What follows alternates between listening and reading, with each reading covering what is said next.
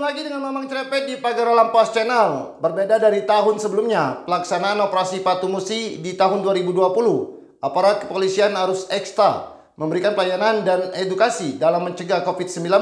Berikut liputannya.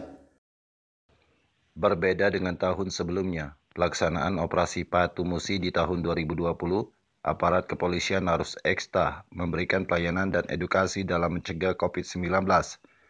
Kapolres Pagaralam AKBP Doli Gumara SIK MH melalui Kasat Lantas AKP Rezi Moza menyampaikan, Ops Patu Musi 2020 lebih difokuskan kepada penerapan protokol kesehatan dalam upaya mencegah dan memutuskan mata rantai penyebaran COVID-19 di kota Pagaralam.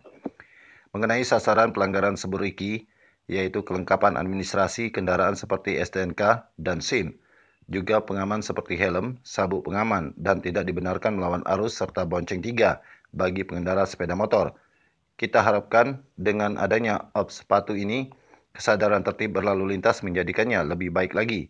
Pelanggaran dan angka kecelakaan diharapkan bisa diminimalisir. Ditambahkan bahwa SIM, Bribka Gunawan dimulainya operasi di sejumlah titik rawan pelanggaran. Satlantas melalui personil Polwan melakukan sosialisasi tentang OPS Patu Musi kepada masyarakat melalui radio bersama. Sementara operasi patu ini serentak akan dilakukan oleh jajaran Polri dimulai tanggal 23 Juli hingga 5 Agustus mendatang.